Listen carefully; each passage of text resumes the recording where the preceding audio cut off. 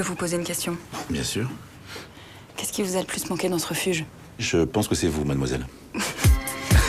Pardon.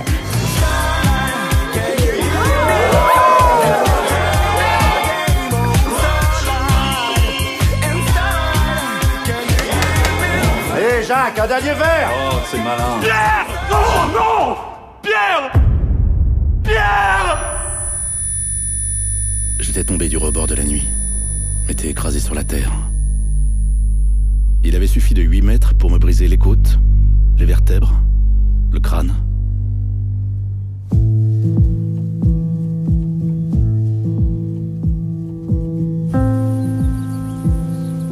Corseté dans un lit, je m'étais dit à voix presque haute.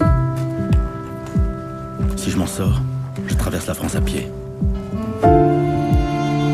Si je réussissais ma traversée, j'obtiendrais réparation. Je vais partir du sud-est, en direction de la Manche, jusqu'à la mer. Pierre, c'est de la folie, t'en as conscience. Oui, mais si je pars pas, je pète les plombs.